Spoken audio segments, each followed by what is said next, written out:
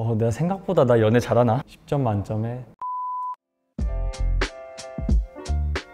안녕하세요. 박원빈입니다.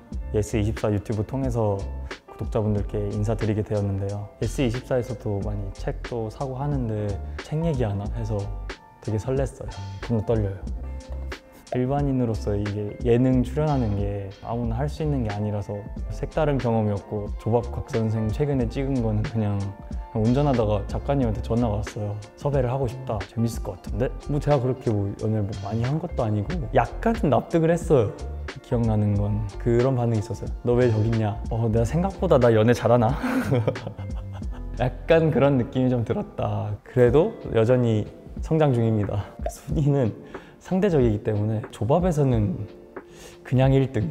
10점 만점에 한 6.5 주변에서 사실 이제 환승연애 잘 봤어요 이러면은 솔직히 조금 민망하거든요. 제가 뭐 잘 나온 모습도 있지만 울적한 모습도 많이 나와가지고 그런 부분이 되게 좀 민망했었는데 아 조박학 선생 뭐 어, 바퀴 달리니 막잘 보고 있다고 막 해주실 때 되게 재밌어 해준다는 게 너무 감사했어가지고 괜히 기분 좋아지고 그랬었죠. 하고 있던 촬영들 다 맞춰가지고 요즘은 이제 체대 입시 학원 하면서 지내고 있습니다. 처음에 이제 체대 입시 시작할 때는 조금은 기대가 있었죠 인지도가 어느 정도 쌓이니까 오지 않을까 생각을 했는데 현실은 아무도 모르더라고요. 오히려 그런 점 때문에 그래 더 열심히 학원 일 해보자 라는 생각을 했었는데 그런 모습이 애들한테 진정성 있게 비춰지고 다른 친구도 소개해주고 이런 식으로 한 명 한 명 모이다 보니까 어제부로 17명 돼가지고 하... 뿌듯합니다 요즘. 대학 가자 제발. 공부 좀 하고. 지금부터 제가 인생에서 읽었던 책 중에서 추천드릴 만한 세 권의 책을 소개해 드리도록 하겠습니다. 키워드는 성장, 혼란, 일기 이렇게 세 가지입니다. 첫 번째는 제목은 데미안이고 작가는 헤르만 헤세입니다. 주인공의 이름은 싱클레어라고 어렸을 때 데미안이라는 친구를 만나서 영향을 받아서 성장해가는 스토리입니다 저도 같이 성장하는 기분을 느꼈어요. 그래가지고 이제 성장이란 키워드를 꼽았는데 제가 이 책을 처음 접하게 된 게 군대에서 처음 접했거든요. 감정 기복이 한 번씩 올라올 때마다 그냥 이 책 아무 데나 펴서 그 스토리에 빠지다 보면은 어느 순간 좀 차분해지더라고요.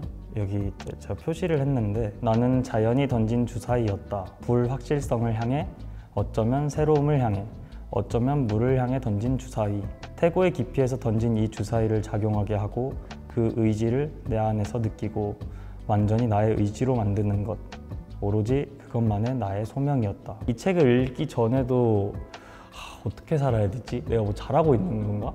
이런 되게 고민이 많았었어요 제가 느낀 점은 내 던져진 세 장에서 내가 가고자 하는 길을 그냥 묵묵하게 걷는 것만이 나의 소명이라는 거를 이 책을 보면서 알게 됐어요 하고 싶은 게 있으면 그냥 한번 도전해 보는 것도 오히려 그게 잘 살아가고 있는 건 아닌가 라는 말을 하고 싶습니다. 다음 책은 제목은 불안이고요. 작가는 알랭드 보통입니다.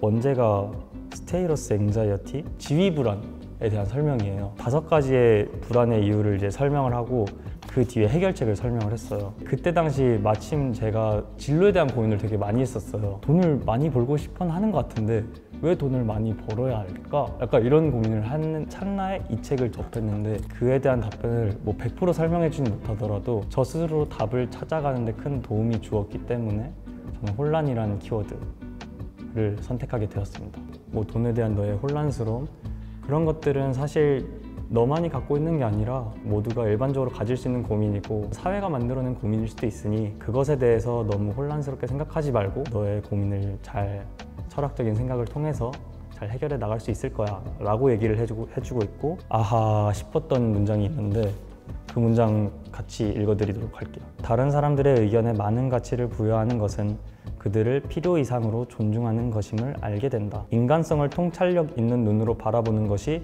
유용하기는 하지만 한 가지 불리한 점은 이런 관점을 따를 경우 친구가 줄어든다는 것이다. 한창 책 읽고 혼자 막 생각 많이 할 때 애들이 저랑 안 놀아주더라고요 이것에 대해서 그 뒤에 설명한 게 외로움을 견디는 법을 배워야 한다고 충고한다 저희 어머니께서 항상 하는 게 결국 인생은 혼자야 힘든 상황이 처해져도 결국 그 외로움, 그 고통은 저 혼자 겪어야 되는 순간이 언젠간 오는데 인생은 혼자거든요. 사람들의 생각에 너무 치우칠 필요 없구나. 그 사람들 의견을 굳이 따라갈 필요가 없구나라는 걸 알게 된다는 것을 설명을 하더라고요. 사람마다 이 책을 보고 느끼는 감정이 굉장히 다양할 거라는 생각을 하는데요. 아, 내 불안의 원인이 이건 아닐까? 생각해 보면서 자신의 불안을 조금 더 객관적으로 바라볼 수 있었으면 좋겠습니다. 마지막 책은 달리기를 말할 때 내가 하고 싶은 이야기. 작가는 무라카미 하루키입니다. 이 작가의 책을 노르웨이 숲을 처음 읽었었어요. 딥한 감정인 듯 하지만 누구나 한 번쯤 생각해 볼 수 있는 그런 감정의 선이 너무 공감이 돼서 어, 이분이 쓴 에세이는 어떤 걸까 하면서 중고서점 사이트를 들어가서 봤는데 뭐 이게 제일 싼 거예요. 1,900원. 저렴한 가격에 구입을 했는데 무라카미 하루키 작가님이 달리기를 취미로 하고 있어요. 오랫동안 달리기를 하면서 느꼈던 자신의 철학을 그냥 잔잔하게 풀어내는 책이라고 할 수 있습니다. 그 문장들이 너무 아름답고 뭔가 저도 그 상황에 있는 것처럼 느껴지고 해서 아, 나도 글을 쓰면 이렇게 한번 써보고 싶다라는 생각을 했어요. 이런 느낌을 내가 볼 땐, 내가 다른 풍경을 볼땐 난 이렇게 써봐야지 하고 한번 재밌게 써보기도 하고 일기 쓸 때 굉장히 도움이 많이 돼가지고 키워드를 일기로 꼽았습니다. 일기 쓰고 산책하는 게 제 마음 정리하는 데 되게 도움이 되거든요. 제가 몰랐던 생각을 딱 알게 되니까 되게 차분해지더라고요. 좋아하는 문장 맨 마지막에 있습니다. 가령 그것이 실제로 바닥에 작은 구멍이 뚫린 낡은 냄비에 물을 붓는 것과 같은 허망한 일에 지나지 않는다 해도 적어도 노력했다는 사실은 남는다. 효능이 있든 없든 멋이 있든 없든 결국 우리에게 있어서 가장 소중한 것은 대부분의 경우 눈에는 보이지 않는 그러나 마음으로는 느낄 수 있는 어떤 것임이 분명하다. 효율이 나쁜 행위도 너에게 충분히 의미 있는 행위니까 너무 걱정 말고 열심히 하라라고 이렇게 얘기를 해주고 있는 것 같았어요. 제가 살아가면서 아 이게 별로 도움이 안 되나? 아 이게 너무 효율이 떨어지나? 이런 생각이 드는데 그게 사실 어떻게 보면 저한테 가장 의미 있는 순간이 될 수도 있지 않을까 라는 생각을 하게 되었습니다. 그것은 결코 어리석은 행위는 아닐 것이다. 이렇게 오늘 여러분들께 책 세 권을 추천해 드렸는데요. YES24에서 제 메시지와 함께 제가 추천한 이 책 세 권을 선물로 드린다고 합니다. 많은 관심 부탁드릴게요. 자세한 설명은 고정 댓글을 확인해 주세요.